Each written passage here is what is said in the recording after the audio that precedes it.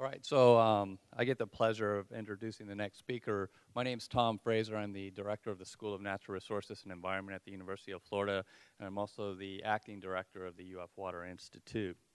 So um, while these guys are getting things squared away, I'll, I, in the interest of time, I think I'll start the introduction. And it's really a pleasure to introduce Dr. Hank Loescher today. Um, Hank uh, is by training uh, an ecosystem scientist and he's certainly well versed in, in the myriad issues surrounding not only big data, all right, but big science. At present, he's the Director of Strategic Projects and Program Developer for International Development at NEON, which is the National Ecological Observatory Network. Um, for those of you who may not be familiar with NEON, I, I think I'd start by saying that NEON represents a significant investment by the National Science Foundation in infrastructure and technologies for the collection of um, what I would call eco-environmental data across the United States to assess the impacts of climate change, excuse me, land use and invasive species on natural resources and biodiversity. I'm a little cold today. How about you guys?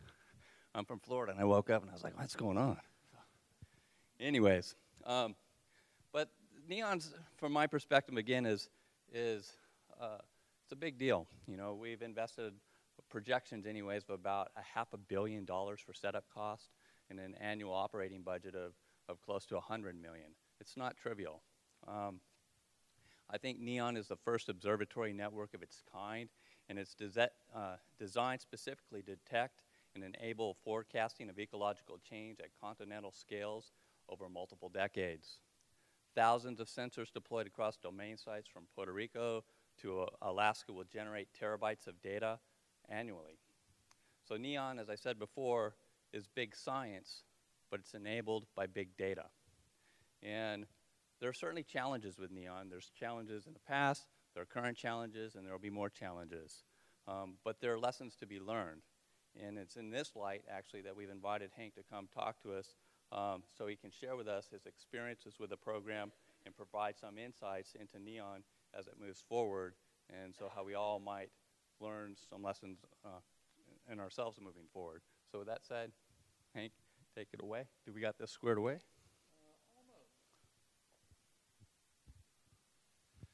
Thank, thank you very much, Tom. And thank you, um, everyone, for, for being here, and thanks for the opportunity to be able to, to chat with you all ab about this. Um, as we're trying to gin this up, um, I'm going to take a, a, perspective that's a little bit probably more conceptual at times and, and, uh, and talk about large-scale environmental research infrastructure, sort of a, a different type of, of beast that's, um, that's large and what that actually might mean in informing uh, local decision-making as well. Um, my first meeting about NEON and, and to give you a, sense of the size and the, and the scope, my first meeting uh, was in uh, 1999 and 2000. Um, it went through several near-death experiences, as with many large-scale research infrastructure. Uh, that's a separate talk on near-death experiences of these type of projects. Um, it, it is um, uh, highly reviewed by the National Science Board and uh, with oversight from the National Academy of Sciences. Uh, once we have a very, very rigorous review schedule um, and pass that review in 2009, um, then we start uh, constructing it. It's a five-year construction process where we have one more year to go. Um, and as um, facilities and infrastructure become built, uh, they become online and become operational, and part of what we have is already operational. Um, and, um, and so what I will talk about, let's see if I can figure this out. Is that the pointer? You may or may not see. Um, I'm going to talk a little bit about the societal imperative of why we're doing large-scale environmental um, studies. We'll talk about our grand challenges and how we um, stepped up this process of, of building uh, something of this magnitude. I'm going to give a very broad sweeps of our NEON overview of our design. Talk a little bit um, about ecological forecasting, why we're doing this, um, and what are the, the concepts or the philosophy behind ecological forecasting that we think are novel um, and then move into uh, uh, large big data, interoperability, and some international efforts. And then I'm going to lead off um, with some issues, challenges, and path forward as more of discussion points um, for, the, um, for Q&A and for um, kicking off additional discussions here at this meeting. Um, so we probably are very well aware that this is the era of big data. This is what this conference is about. Um, and I have several um, uh, uh, covers here, and um, I know Will had put up uh, some similar studies uh, in his, from his first um, slides. Um, the take-home message here is, that it's really uh, becoming a, very well known across society, not just within governmental circles or in agency circles, um, but also at society as a whole are rec recognizing that this is an era of big data. Um, and we're seeing um, uh, planning documents and position papers developed from the executive office, um, in, as well as in Europe and Australia and elsewhere. Um, and this is becoming more and more um, uh, a societal imperative, uh, an overall awareness, and thinking about the exact problems that we have here today in this room. How do we think about integrating and starting to build these large-scale um, data sets? Well, one of the, the concepts that um, is, uh, generates uh, a lot of discussion and a lot of effort are something that's called societal benefit areas.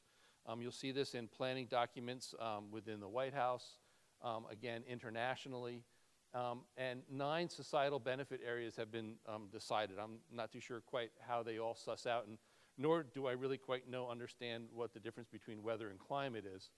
Um, uh, but how do we actually then think about building large-scale data within each of these societal benefit areas? What does that mean? And the concept of, of uh, essential variables comes to play. So what are the essential variables to start linking large-scale data within each one of these. So there's, there's, large, there's um, essential carbon variables in here. There's essential biodiversity variables in here, etc. um, this is a grand challenge for environmental sciences as determined by the National Academy. Um, the White House actually placed um, a large um, uh, uh, data, big data initiative to start generating what this discussion would look like across SBAs um, and how to, to, to, at least conceptually link large platforms. Um, and, and it's also the start of the discourse that big data is a national resource um, and being able to communicate up um, um, through our, uh, our governmental and decision makings that this is really, really an important national resource. The second part is that once we actually build, the vision is that once we actually build these type of large scale platforms, we're then able to ask not only questions within these societal benefit areas, but across them in ways that we haven't even thought of yet.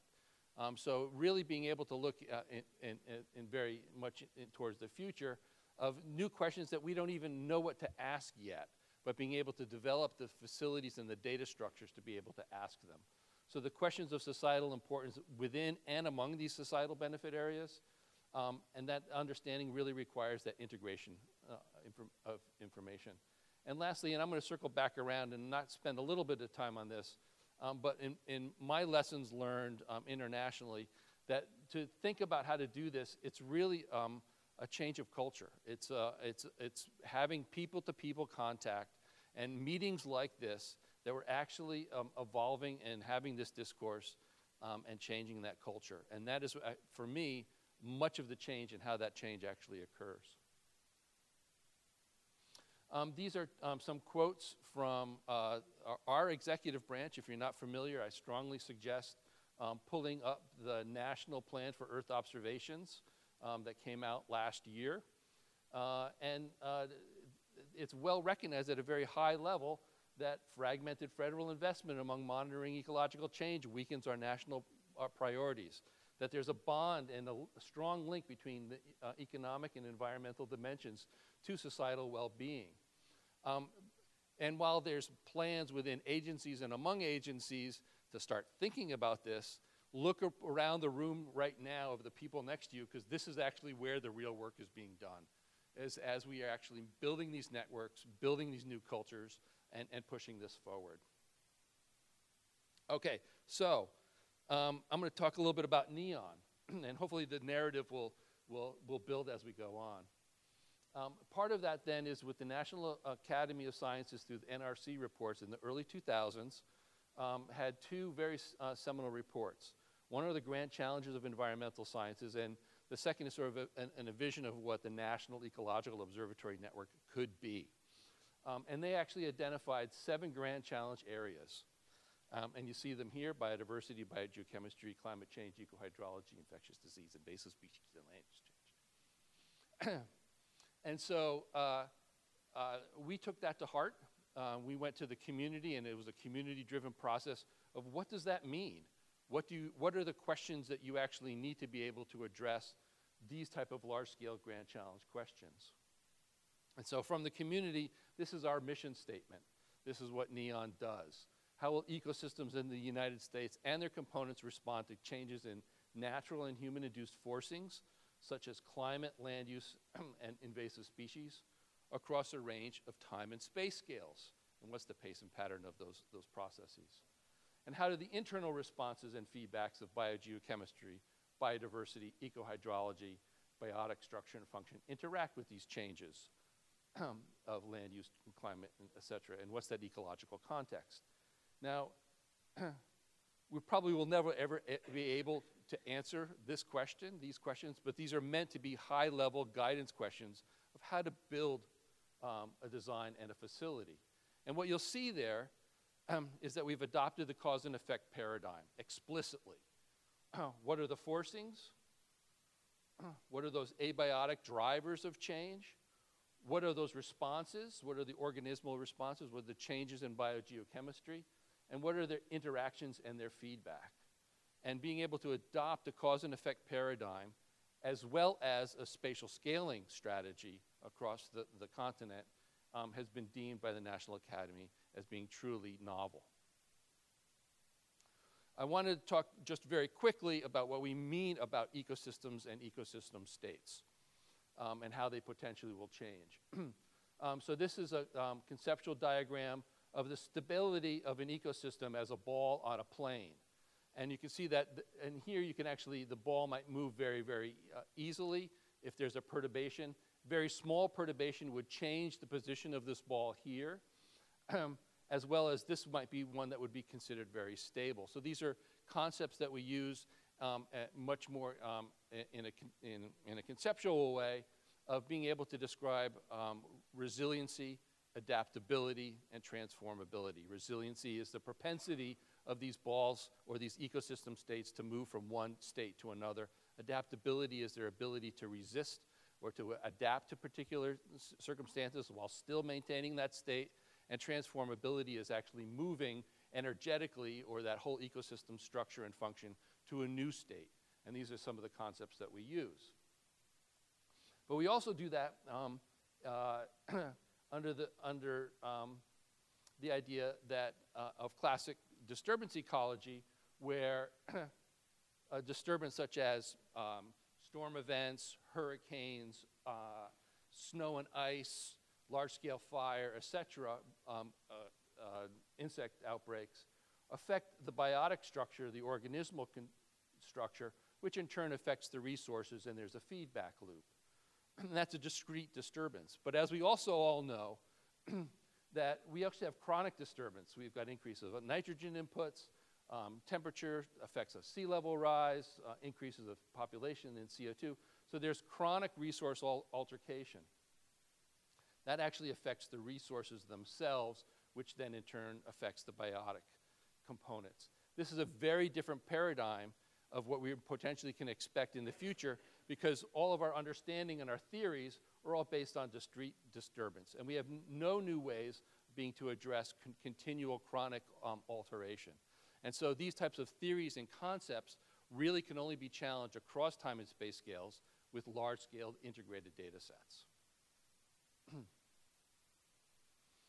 the other novel aspect of how we actually design NEON, and this might be really intuitive to many, um, is that we've actually come up with our grand challenge questions, which you've seen, and we went to the community and thousands and thousands of people that we've asked, how would you address those, that question with your own specific hypothesis? And so we have a, a, lots of different environmental science questions. Um, and then we asked ourselves, well, what are the data that you actually need to be able to answer those hypotheses to address those grand challenges?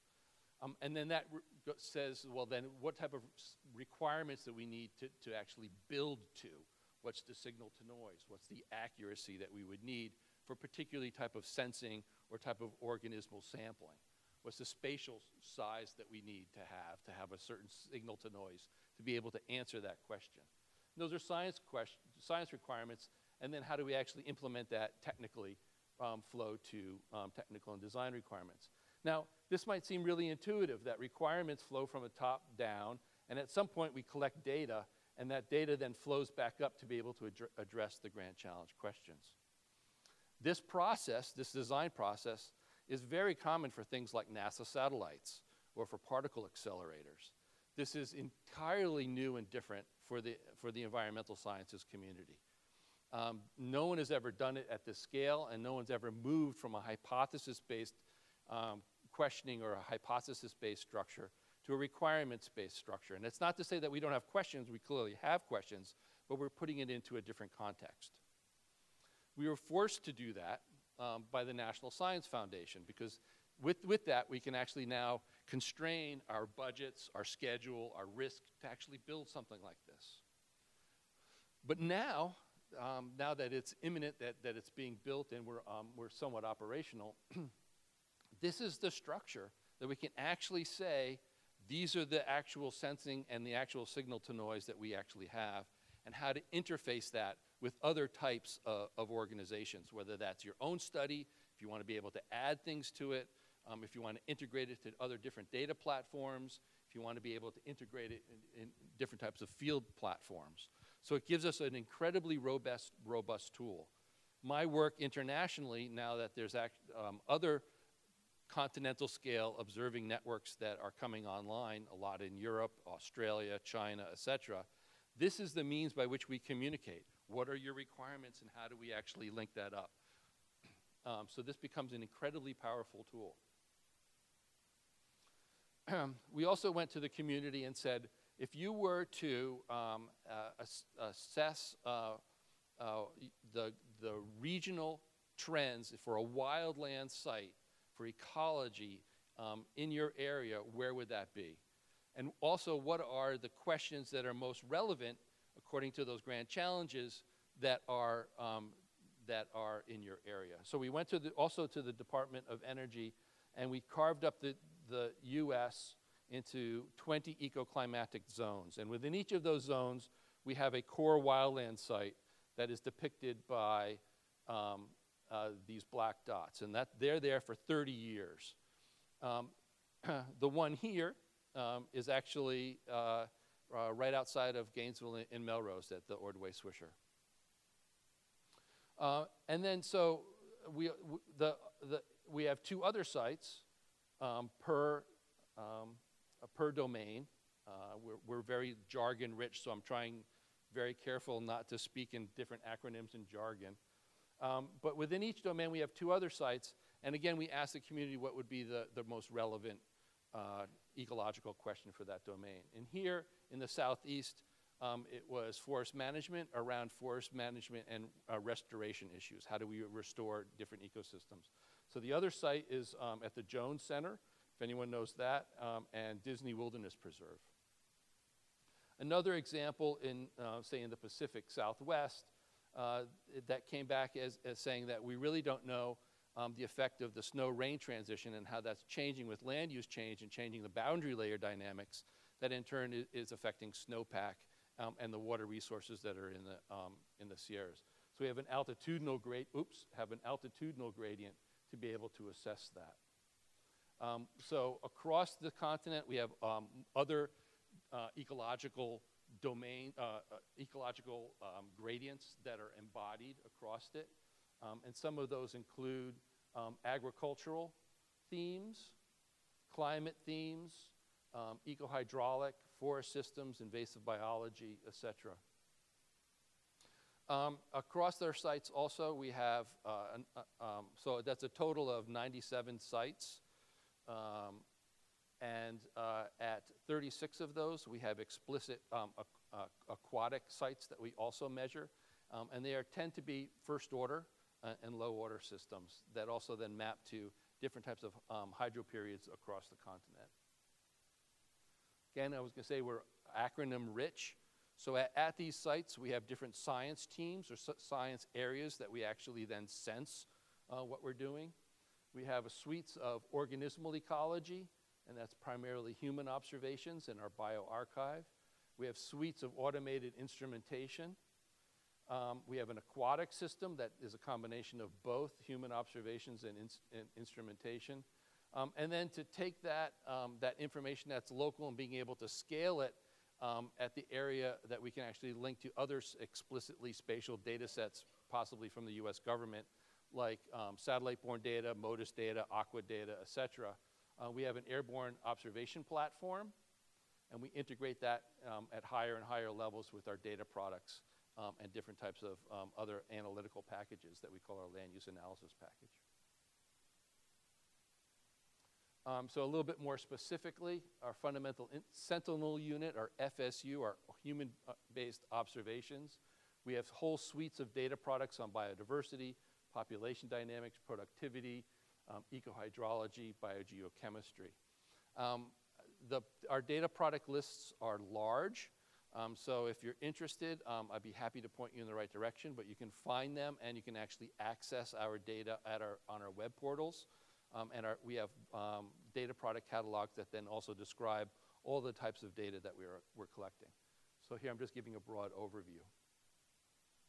Our fundamental instrument unit um, is tower-based. Uh, again, co-located with all of our organismal sampling. We have uh, measurements on physical and chemical climate forcings that include things like NO, NOY, um, full range of oxygen isotopes in water, so we can look at source and sink dynamics. Um, uh, lots of meteorological scalars and fluxes. So in other words, we look at how whole ecosystems breathe in real time using sound waves and lasers. Um, and we can see how much CO2 is being uptaken um, and water um, being emitted in real time using eddy covariance, if anyone's familiar with that. Um, and to give you an idea also then of the amount of data that's generated at one of these sites, um, it's about 50 terabytes per year, and we have almost 100 of these sites. So it gives you a, a scope of just this type of instrumentation of how much data that generates. The towers are, tend to be very iconic. Everyone says, oh, look, you've got a tower site. Um, and that's what it is. I also want to say that, you know, our, our, in our statement, in our mission statement, our grand challenge statement, um, that uh, we want to look at the pace and pattern across scales. And towers, even though they're in a single place, we're actually measuring many different types of scales. We're measuring the synoptic incident scale, we're measuring the microclimate scale, the, the amount of scale that that the vegetation and the structures actually modifying the local climate, um, and the flux scale. There's, it's a moving, um, a moving plume that we actually measure across the, the, the ecosystem that can go out several kilometers. And of course, then also the soil scales. Our, our aquatic reaches, um, again, are low and first order streams and ponds, and they're designed to look at the connectivity with the terrestrial environment. Um, in the stream reaches, we have an, um, uh, an, observational stream reach, and we also have uh, an experimental stream reach. Um, measurements like metabolism, um, reaeration distances, um, all, all, the abiotic drivers, light, temperature, and so forth. Um, this is actually here at Barco Lake out at Ordway Swisher. it's one of the, our first platforms that we've actually put out in lakes. Um, and this is uh, not just a prototype, but this is up and running and data is being collected right now. Our airborne um, system, we have got three aircraft. We plan, uh, we are flying um, all of our sites right now at times of peak pro productivity. Um, so uh, whenever that, that occurs um, in the summer. Um, and it consists primarily of, of two, uh, uh, two instruments. Uh, one is a high resolution imaging spectrometer um, that returns the irradiances from the ecosystem um, and a downward facing waveform LIDAR. Um, linking these two sets together, and this is modeled after the Carnegie observation uh, platform at Stanford, uh, what that does is um, the imaging spectroscopy um, returns different irradiances, and those can actually be turned into things like foliar nitrogen content, foliar water content, uh, uh, uh, other, other metrics of productivity and water use. and you combine that then with the canopy mapping, the structural mapping, and our DEM, um, and you can then build out actual real maps of whole ecosystems and whole forests um, as a function, in this case, of uh, foliar nitrogen. You can see that there's a much higher foliar nitrogen in this, this ecotone area between um, these. This happens to be Ordway Swisher. This is local data. This is real local data. High, um, pine woods in the back, flooded prairies in here, um, and then the ecotone hardwood hammocks you can see has got the highest productivity um, in terms of foliar nitrogen. okay, so we are charged to enable an understanding and forecasting by providing all of these data. Uh, we are data producers, um, and, uh, and we're looking for user communities um, at, at that forefront. Um, we do this by supplying um, informational infrastructure, consistent, long-term, continental, multi-scale data sets for research and education, um, and the physical infrastructure, that research platform for investigator-initiated sensors. So we also have uh, the capability of adding other sensors. Um, like I said, also, uh, we have things like three aircrafts. We only need two. You can request that third aircraft to fly over your sites to expand and to connect to the large-scale data sets that we're generating. Um, and so if we want to talk a little bit more offline, I'd be happy to discuss that. Um, but I would also be remiss in, in doesn't look like it's working? Oh, there it is, sorry. Um, in- in, that, um, we also have lots of other structures. We have a, a very active education and outreach group. Um, we have a, a state-of-the-art calibration lab uh, that's very important for interoperability, which I'll mention in the future, et cetera. So there's a lot of things that could be requested um, that we should talk about at some point. We provide that infrastructure. so if we are to provide an infrastructure to enable an ecological forecasting, we had to actually define what we actually meant by ecological forecasting. And so bear with me for a second. I don't know if anyone has ever seen this before. But this is real data. This is the NOAA forecast skill of how well they can actually uh, predict the pressure fields across the whole continent at 500 millibar. That actually dictates the synoptic scale weather patterns across the US. and in, in 1955, their skill level was around 22%. And now in, 19, in 2015, it's a little bit over 80%. Um, and so this is, the, this is um, the forecast at 36 hours, and this is the forecast at 72 hours. Now, what's really interesting here is that there's no huge stochastic jump here uh, when 3,000 new weather stations came out in the 60s. There's no huge stochastic jump here in the 70s when weather satellites came on board. And there's no stochastic jump here um, in the 2000s when supercomputing came on board. The way that they actually integrated and increased this um, forecast skill is by integrating theory with their models, with predictive forecast, challenging those, con- th- those forecasts with observations um, in an iterative capacity. Um, now, uh, that might seem very logical to us today, but um, if you're talking to other research groups or um, other agencies, they say, oh, we just do experiments, or oh, we just do observations, without necessarily the goal of ecological forecasting. Um, but the robustness of this model of being able to iterate um, theory, model, forecasts um, i- for ecological science is actually fairly new. Um, we all say that we might do it or think about it, but actually explicitly saying that this is the concept of how we're moving forward in ecological forecasting to enhance our skill, um, this is fairly novel. The part that's missing, um, and, and NOAA doesn't necessarily need this, is the role of experiments. And clearly, what we um, what we're experiencing in environmental sciences right now, particularly um, in, in light of chronic disturbance, like I mentioned earlier, um, are nonlinear stochastic processes, things like tipping points, uh, temperature sensitivity, susceptibility to drought, etc. So we need to be able to use experiments to elucidate these, these future conditions and, and integrate it into the observations and theory um, and forecasts. So that calls for um, giving uh, estimates of system state, information on process level parameters. We need to have those experiments to elucidate those unknown and nonlinear processes. And, and we also need to have those observations then collected systematically over time and space to challenge these forecasts.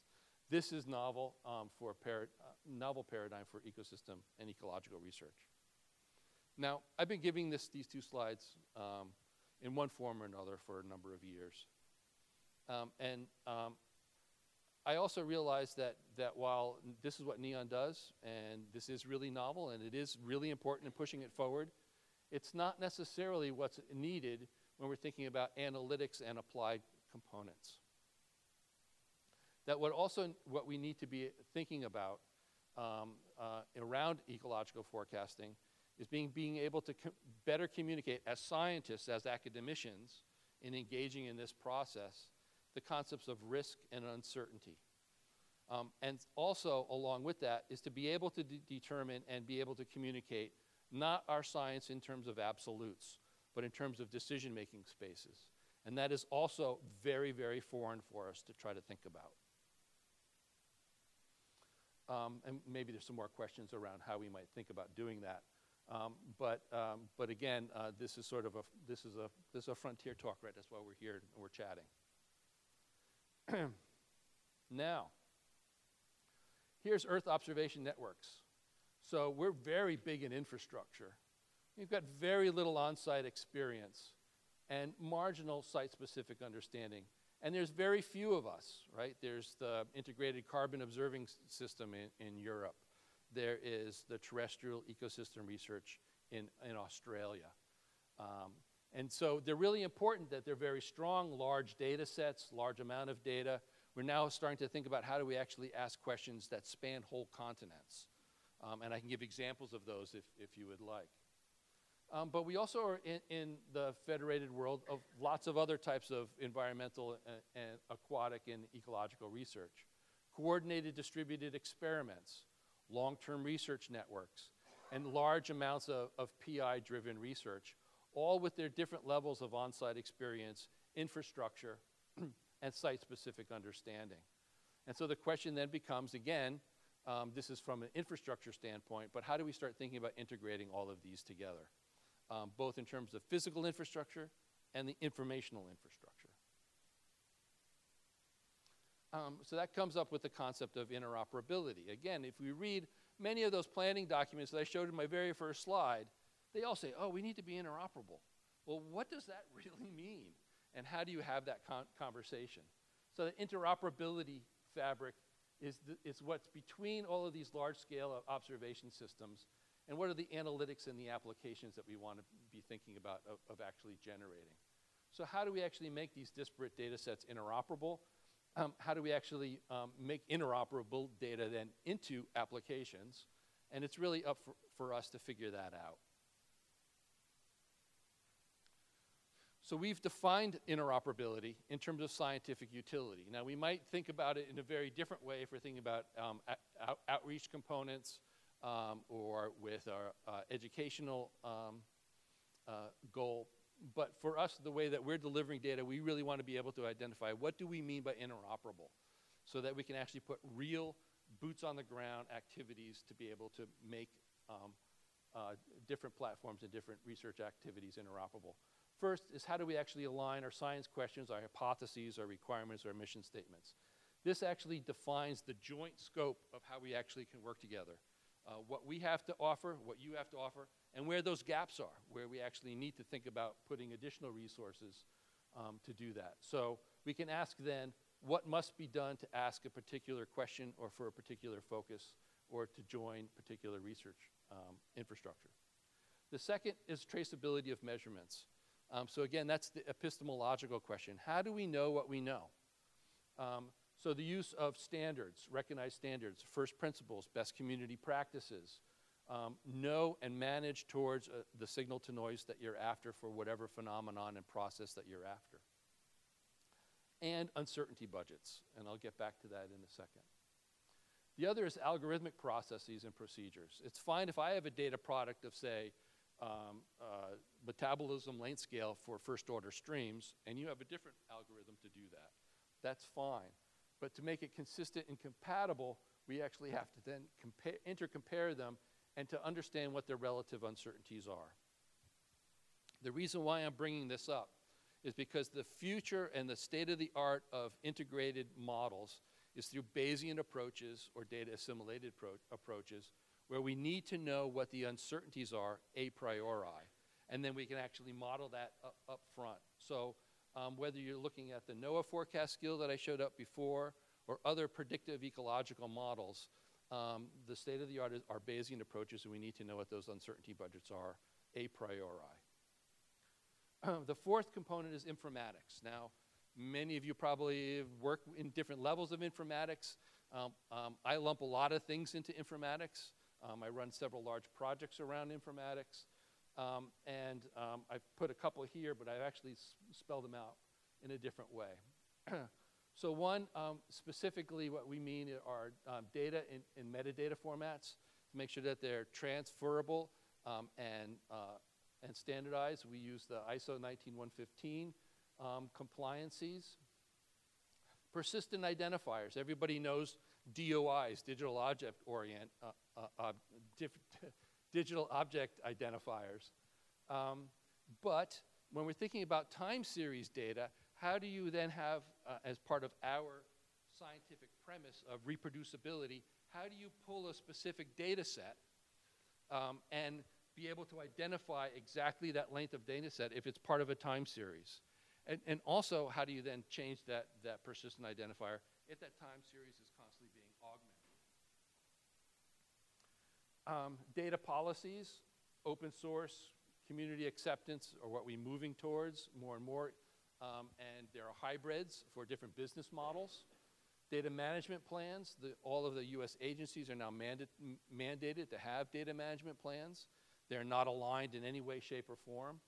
Data sovereignty, if we're moving across geopolitical boundaries, intellectual property rights, and discovery tools. Now, I've left ontology, semantics, and control vocabularies because this is actually one of the places, at least in biodiversity and environmental sciences, um, that UF is actually considered a leader and is actually pushing that frontier very strongly.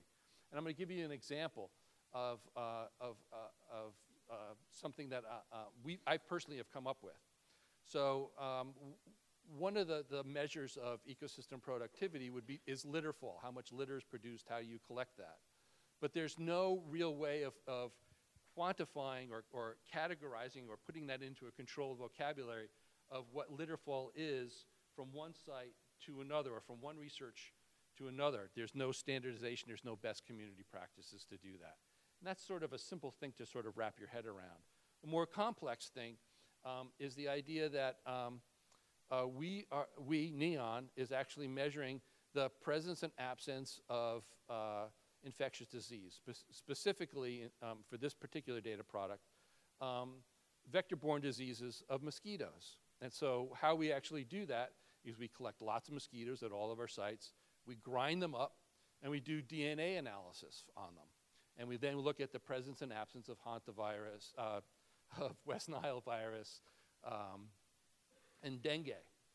Uh, there's no word for that crushed up swath chunk of sample of mosquitoes. What do you call it? How do you put that into a searchable ontology? There's no way of actually doing that. the place where these components of, of interoperability and, um, uh, and informatics is, is being played out uh, in the worlds that I work in are um, other large-scale um, forums, uh, international forums, um, and across other large-scale research infrastructures. So um, I, I, work with space weather, geodesy, seismology, biodiversity, um, coastal sciences, um, carbon, uh, etc. And um, the places where we have these discussions are, are um, other forums, Research Data Alliance, uh, GEO, if anyone knows GEO Group on Earth Observations, the Belmont Forum, ESIP, which is the Earth Science Information Partners. Um, and I, I, encourage a dialogue here of how do we actually bring them into this discussion um, and into this group and vice versa. Um, I think this is very powerful and untapped resources of how we're actually thinking about working together and integrating our cultures together as well as the informatics that we bring to bear. I'm going to talk about two models that I, that I, I see um, with research infrastructures. Uh, one is the, the web crawling um, or the, the web, um, uh, web brokering um, activities. Um, and this is really busy.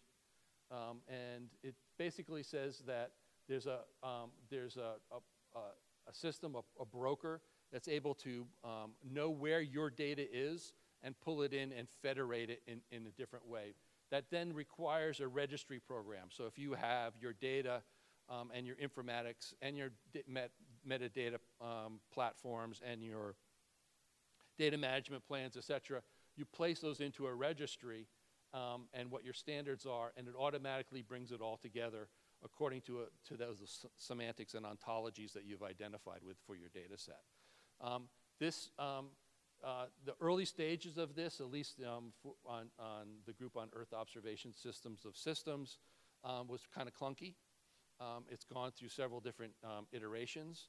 Uh, it's supported by the UN um, as well as um, lots of different governments have treated onto it. and so this is one tool that is continuing to grow. Uh, and, uh, and there's different flagship and different disciplines uh, water being one of them, uh, of how to, to bring together and federate large-scale data sets. The other, um, and this is uh, the AMP lab, uh, this is a medical example, um, and that is actually coming up with a system architecture ahead of time and understanding um, and being able to say uh, uh, what each one of these different analytical packages are, um, and then partnering public and private uh, to be able to realize that. So becoming, coming up with a system architecture ahead of time and then modularly being able to assess the analytics and describing their interrelations and the interoperability, or the interrelations and the interfaces uh, between, these inter, in, in, uh, between these analytics in, in a larger cyber infrastructure space. Um, this has proved to be an incredibly strong model. Um, it's, it's gleaned um, uh, several hundreds of millions of dollars to step this up as a prototype with large public and private enterprises, including Google, Microsoft Research, et cetera. So this model's actually gained a lot of traction um, and a lot of optic. And I think this is a, a, very strong model to think about for environmental sciences. And I'm starting to see these building block approaches starting to emerge. okay, so um, some take-home messages, um, things that I haven't talked about. Um, environmental data and, and, aquatic data is extremely heterogeneous, um, from images to spatial and time scales to different types of signal to noise generated across a variety of different platforms. It's long-tailed. There, there are lots of, of smaller data sets that might be incredibly relevant that we don't know how to mine and how to pull in unless we have things like um, data registry processes um, and multiple use. How do we actually augment um, and build upon the accessibility of these long tail data for more and more um, uh, use? Something I have not talked about, uh, we had recently uh, run um, uh, a large international um, conference um, sponsored by the National Science Foundation to readdress the grand challenge questions. Are they still valid or not? And are there new grand challenge questions uh, that we should start thinking about. And it was, a, it was three days. It was an incredibly um, active and dynamic workshop. We're having some papers come out of, out of it. Um, and one of the things that was recognized are things like the IPCC report that already has some ecological forecasting in it. Now, I'm a big proponent of the IPCC report. Um, however, those forecasts that are go out 25, 50, 100 years actually also does it a really large disservice, and that disenfranchises the public and, the, and, um, and many decision makers of why do I have to make a decision now if the uncertainty is 100% and it goes out 50 to 100 years. Why should I change my behavior on the coast today? And so one of the challenges that we don't know how to do short-term ecological forecasts from the year to the five-year time span and being able to develop that trade space and that understanding around that. So that might be sea level rise, that might be uh, flow regimes, that might be when, uh, when is the summer onset next year, uh, summer onset of drought next year go actually going to occur? We don't know how to predict that. We don't know how to predict leaf out in the spring, uh, which has huge bearing on food security, how I make my, my natural resources decisions. We don't know how to do short-term ecological forecasts. Um, large-scale environmental data is here, but interoperability, those searchable platforms, those um, applications and analytics, they're all lagging. That's why we're here. That's why we're having this discussion. I'm stating the obvious, um, but um, uh, it's good to state the obvious at times. And I'm seeing more and more of, of, the model of the building block. How do we do small, manageable pieces of this larger puzzle? Um, and institutions are becoming much more that middleware between large-scale environmental data sets and those applications. Um, and this is, I think, um, new business models, new hybrid business models, public and private, and we see lots of different players. I said in the beginning of my talk, there's large expectations for societal benefit. Um, again, that's what we are charged to do. Um, integrating our environmental data is truly a frontier science, and we should all recognize that. It's not just our day-to-day -day grind, but this is a frontier science, and it's, and it's a grand challenge. Um, and, and, and my work around, um, I'm really seeing that um, a big piece of it is how do we change the human capital? How do we change the cultural capital that we bring to bear? How do we actually uh, bring together and evolve the broad adoption um, and evolution of these cultures to use large-scale data still is a challenge. Um, and uh, this takes time, and we should recognize that. But person-to-person, people-to-people contact um, is extremely important. Um, and something we, I don't know if we're, we're going to be talking about here at this meeting, how do we train and educate new cohorts of users, and that we all should be taking, our, taking leadership. And with that, I will hopefully go to the next slide. And thank you for your time, and, and, and hopefully I had an interesting discussion here.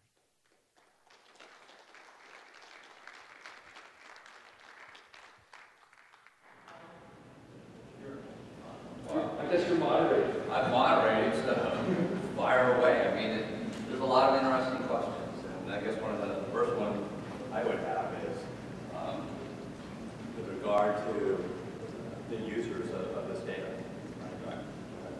Um, I mean, it's publicly available. It's, it's a huge investment uh, by our. our Can you use the microphone? Okay, sorry. Um, the, the, what I was saying is that it's obvious, and I said this in the beginning, it's a, it's a huge investment um, by our federal government.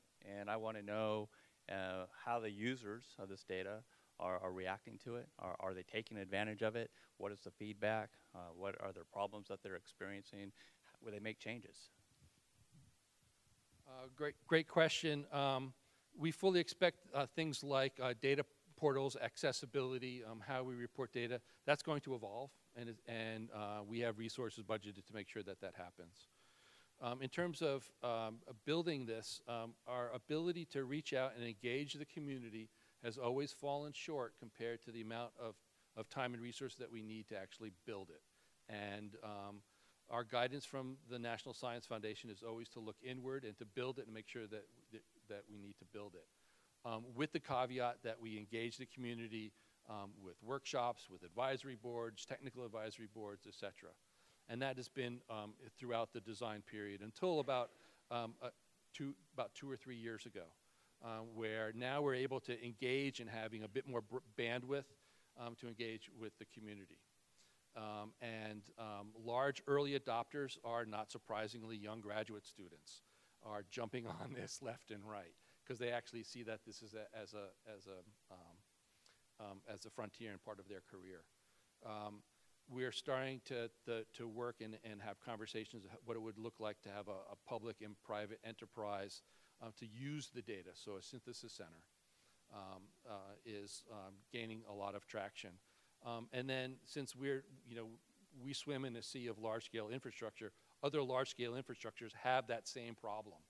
Um, and so a lot of our discussion of how do we um, work and engage with the user co communities are in conjunction with Australia TERN or China CERN or, um, or the European components.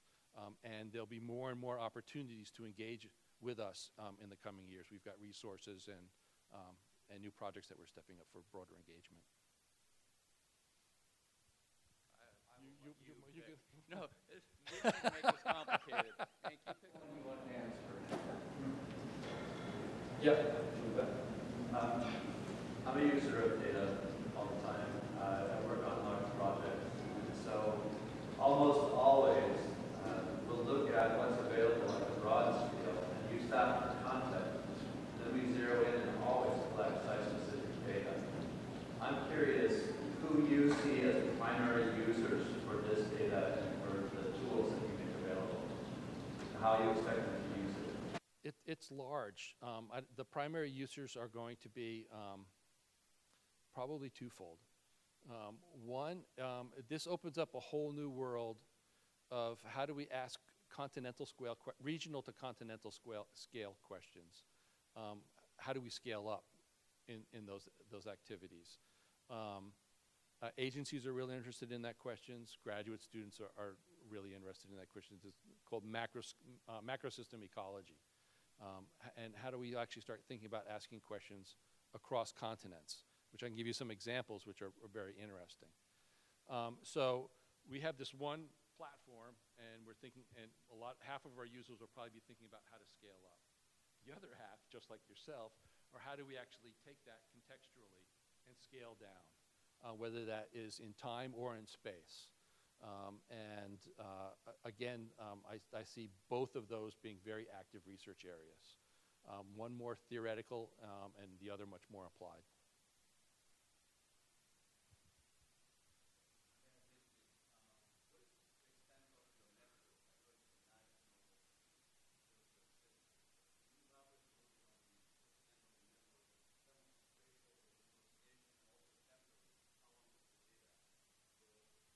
Sure. Sure. Yeah. No, so it's a, um, with all of our design and research development, um, it's a half a billion dollars to construct. We're almost done constructing it. Uh, we have sites from the North Slope of Alaska in Barrow and at Toolik all the way down to Puerto Rico. Um, and we have sites in uh, Hawaii all the way out to New England and everywhere in between. Um, and they're, they're distributed according to what the research community came back and said what was important. Um, now, they're fixed, and I fully acknowledge that there might be really strong and important questions that we can't ask, address with our fixed resources. So, we have um, those, um, those themed sites. Um, if they can stay there for the duration of NEON, but if they're not collecting data that's important, the community like yourself can say, well, we want to move it to another site. And we have resources to do that. We also have what's called mobile platforms that you can request. So if there's targets of opportunity, things like a flood event that you want to be able to, to assess really rapidly, we can come in very quickly and, and assess that for you regionally, or a forest fire, et cetera. So spatial extent and the dynamicism of our design is flexible, while we still have fixed, fixed sites as well. Um, uh, our operations um, is for 30 years, um, and that starts uh, end of next fiscal year. Um, and so uh, we're guaranteed um, operational funds as part of the agreement for the construction funds for a 30-year period. and we fully anticipate there'll be upgrades on cyber infrastructure and models and you know as things go on or instruments et cetera as things go on but um, you've got a follow-up Yeah, um, do you leverage an existing monitoring network as you do that? Or You just build new stations? Yes and no. So the National Academy um, and um, uh, the National Science Foundation, when we're designing this, did not want to have this design contingent on anybody, any other agency delivering something to it, right? But we also recognize that we can't swim in that sea without engaging and, and partnering. So many of the sites overlap with other existing, um, other existing agency projects. So we are at multiple sites that are USDA um, ARS, uh, Agricultural Research Stations. Uh, we have other ones that are at NOAA Climate Reference Network stations. Uh, we're at other ones that are at uh, long-term ecological research stations and at critical zone observatory sites uh, and so on and so forth, and so and American uh, uh, DOE Ameriflux sites. And so with that, then we have a mechanistic linkage of having our measurements right at the same place as their measurements, so we can extend the sphere of influence if they're relevant questions using multiple different platforms. Does that, that make sense? I want to follow up on that. So, I mean, if, if you do want to, for example, take advantage uh, of an event, all right, and you want to some instrumentation um, who, who do you make a request to? Do you make it to NEON? Do you make it to the National Science Yeah, yeah, it's a, it's a really important question. Um, and we've been working with the National Science Foundation for quite a while to, to come up with the process to do that. Um, it will, um, and hopefully we're going to unveil that soon. Um, it's modeled after the um, use of the Spitzer Space Telescope. Um, and so there's a feasibility component, there's a feasibility review that NEON does. Can we actually do it or not? Right? And what that cost would, would occur. Um, and then for you as a PI, there would be a scientific merit review. And that merit review would be um, uh, similar to the rapid um, proposals that would be at, at NSF. And so then if you get funded and awarded, NSF gives you the, the money to be able to do the science, and NSF gives us the, the money to actually implement it and, and execute it um, on the sites. So what, what the, one of the other rationale that I didn't talk about for NEON is that they want scientists and engineers to do more, spend more of their time doing science rather than setting up sites. So developing that infrastructure. So it's, we facilitate you doing your science. I wanted to pick up on your compelling point about the interrelationship between data collection and data analytics and the development of uh, taxonomies and, and especially as we're moving into an increasing environment where we're less and less, let's say, data limited in terms of the next generation of breakthroughs and more analytically limited or creatively limited. Um, I spent five years during the MREFC phase as a director of your sister facility, ERSCO. And I work very closely with ERSCO. Um, we had very strong community support for data collection, data archiving, portals, distribution. When it came to developing the next generation of creative analytical tools, I, I don't mean data visualization, I mean real sort of data analysis tools, we, we could not, for whatever reason, get the, the community to come together and agree to support on that. It was still seen, that's where people wanted to retreat back into their individual labs and their individual offices and their individual groups of graduate students. How is NEON going to break through that? How, how, how are you able to get people to get beyond just a data collection and distribution facility and get that community input to develop the analytical tools that are really required to exploit this amount? It's a real pertinent question. Um, a- and, very truthfully, um, that's right where we are right now of trying to, we're asking ourselves that same question. Um, we um, engage in multiple different forums um, to be able to make that data available, uh, but to, but to, inter- but to uh, but to bring together the different communities for specific purposes for those applications. Uh, we're engaging with synthesis centers, um, specific research groups that self-organize, so RCNs, um, and helping support RCNs or the, the like, um, different universities, uh, different initiatives that we are targeting to identify early hanging fruit rather than trying to do a large shotgun approach initially. Um, and hopefully we'll be, be, be, be, be building momentum around that. Um, but that's our current strategy. We're not fully operational yet. Um, and I think it um, actually, NEON presents a little bit of a different um, problem than EarthScope, um, uh, both IRIS and UNAVCO, um, uh, because uh, their communities are already extremely well um, built around how to use research infrastructure, where the environmental and ecological communities, this is the first of its kind, and they still don't even know really what it means and what, what it means to them for their science. So we have to overcome that burden on, on top of, on top of that. Um, Yeah, um, I had a question about um, sufficiency of data. Um, You had a slide up that said the data is there, but the way to actually get to it, the interoperability of it isn't there. Um, I'm wondering, you know, how can we actually say that we have enough data collected at this point? Um, You know, are there any measures of sufficient environmental science data um, you know, established so that we can say, okay, we're, we're there, we finally have enough data.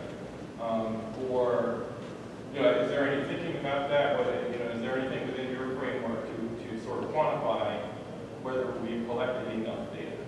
I'm not too sure. I, asked, I, I know what the question is. In, interoperability is different from being able to produce data and make it available. So we, we've got data, it's, it's available. But, but the degree by which it becomes interoperable is the degree by which those four points that I, I laid out are actually met and real tasks can be, can be put towards that. So that would be how you would integrate our data with somebody else's or your data with somebody else's. Um, the metrics of um, the actual data, whether or not you can answer a question or not, um, what informed our designs, our temporal coverage, um, is um, trying to assess what the known signal to noise ratio is. That's known, what we know today, um, and, or that we can model today in terms of accuracy and precision. So, how much data that you would actually need to be able to be accurate and precise to be able to use the, the appropriate statistics to answer your question. Um, and so we've, we have metrics to be able to assess what our design is, and now we're collecting the data to test that. D- does that make sense? Okay. To follow up on that, have you defined a sort of a library of science questions that you are, measuring this data against? Or, you know, how are you anticipating what the science questions are? Um, well, so we asked the community uh, for those science questions, and we've and we've generated thousands of them. We had cataloged those for our National Science Board um, review. Um, I don't know if they're publicly available or not, and one of the reasons is that we didn't want to give any particular research group competitive advantage over another if they came up with that question.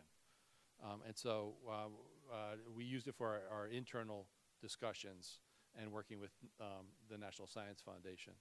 Um, but yes, we did generate lots of different questions. But that's somewhat, we lump them together. So, if, say, if it's around productivity, around carbon productivity, we want to know um, uh, within, say, 20% of the spatial mean for litter fall, since I used that as an example earlier. And depending on, on how many plots that we actually put out there, it becomes a, an n-size sampling um, uh, an analysis. Uh, and so that's a very s- easy thing to be able to assess what that signal to noise is and how that would e- extend to our, our design. Um, that, that would be a fascinating, data, fascinating database to see, Yeah. the list of questions. Yeah, uh, uh, the, as well as um, what we do make available are all our requirements, which are also pretty incredible. Um, so you've been patient. I'm just wondering, you've got USGS, EPA, you know, Fish and Wildlife, NOAA, other, other organizations that have this huge data collection. I was wondering if they're cooperating with you because it seems that that would be a perfect match, or a perfect fit if you could somehow align some of the, the data they're generating and feed it into your system and make more of these global. For example, like EPA have the really cool towers for collecting atmospheric data. I know EPA is interested in mercury contamination all over All the over. atmosphere that position. You could take and collaborate with them, have a national mercury TMDL to solve the problem, figure out who needs to do what to reduce mercury over the next, you know, 20, 30 years or whatever. And I just, it seems like a perfect fit. I was wondering if they're cooperating. Yeah, so, so I heard two questions. One is uh, cooperating on, on information, the other is on the physical infrastructure. Um, uh, yes, um, we've got a big sandbox. A lot of people want to play with us. Um, the, the problem right now is that we are extremely focused on trying to build it um, and, and, and develop the plans for engagement and to make sure those lines of communication exist now, and they are. Um, so EPA is a perfect example. They want to put methyl bromide sen- sensors on all of our towers, right? So um, uh, we, we work very closely. We've got offices in DC um, and communicate and engage with them on lots of different levels. Now, um, that is for the physical infrastructure. we're also at a lot of agency property. We don't own any property, so we're at Forest Service land, we're at BLM land, et cetera. Um, and so they're very anxious to, to know what that data looks like as well for their own internal purposes. Um, and then, um, and then lastly, I had mentioned the EcoINFORMA, the 200 million White House initiative. That was specifically designed to address that question. How do you get all of them to talk to each other and make sure that they have a hom- homogenized or harmonized data management plan? Um, or um, how do we address those other issues of, of interoperability? Um, and uh, that's, as you can imagine, a harder conversation to have. EPA's been using for thirty years, I mean, that's, I mean, that, those things need Un- Understood, yeah. Um, uh, I sit on a couple of interagency working groups also. Um, um, This comes up a lot, um, and str- really strong players are USGS, um, particularly the EROS Center, uh, US Forest Service, um, NASA and the ROSES program, um, and DOE and their terrestrial ecology program. Anyway, I see Stan standing up, which means we're due for a break, correct? Uh, Yeah, but uh, Tom, you I, I, I just, just a, um. I was just interested in seeing the growth of like autonomous instrumentation evolve with this, as far as like robotics or data collection,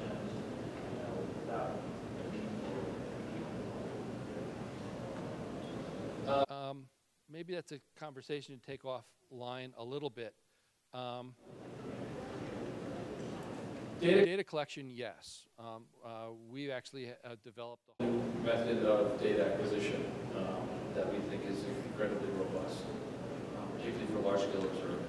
Um, uh, Turning everything to digital right at the, at the point of measurement, even if it's an analog measurement, um, and then managing it off the fiber uh, instantly.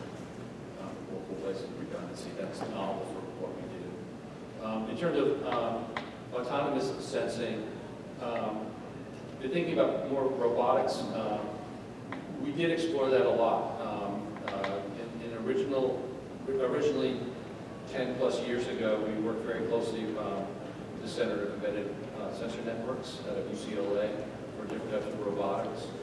Um, and really what came back in many of our reviews at that point in time, including what came back from the National Science Board, is that uh, while the robotics and the sensing might be actually um, robust enough to consider, the science questions weren't. And so they were basically um, uh, a technology that was waiting for a question. Um, and maybe that's changed today or changed now. Um, and I can give you specific examples of what we proposed. Okay, let's uh, give uh, Hank and Tom